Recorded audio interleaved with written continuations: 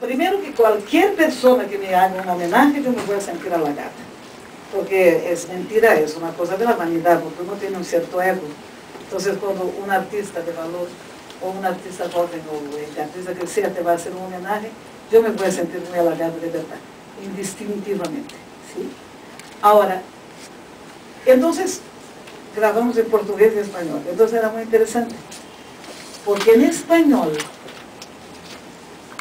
yo tardaba, por ejemplo, digamos, seis tomas, porque usted sabe cómo se graba, se graba seis tomas, ocho tomas, y después ese se agarra las mejores partes para no perder la interpretación. Bueno, y en portugués, tres. Entonces decía, eh, decía mi mujer, se nota que vienes de Brasil.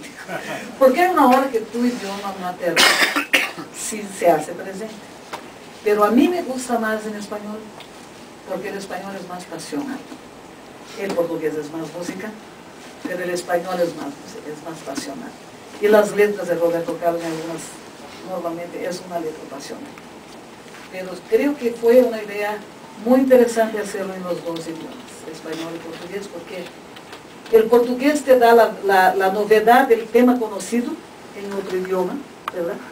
Es musical, pero el español es nuestro, es, es, es lo que la gente...